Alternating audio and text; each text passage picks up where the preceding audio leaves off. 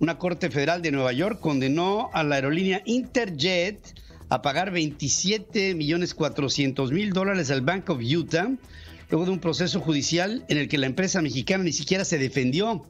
Jesse Furman, juez de la Corte para el Distrito Sur de Nueva York, notificó el 29 de julio la sentencia y se trata del mayor reclamo extranjero judicialmente ejecutable en contra de Interjet que hasta ahora se conoce públicamente.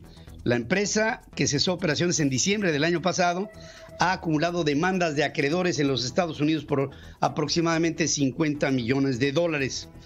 La demanda del Bank of Utah fue presentada el pasado 3 de mayo, luego que Interjet dejó de pagar la renta mensual de dos aviones tipo Airbus A320 en octubre del 2019. Desde entonces, incluso antes de la pandemia por el COVID, pero cuando ya estaba intervenida por el SAT por deudas fiscales que en ese momento eran de 549 millones de pesos. En este momento ya la deuda de Interjet ha escalado y el problema legal de la compañía, así como la definición de las responsabilidades en la misma, no ha sido desahogado.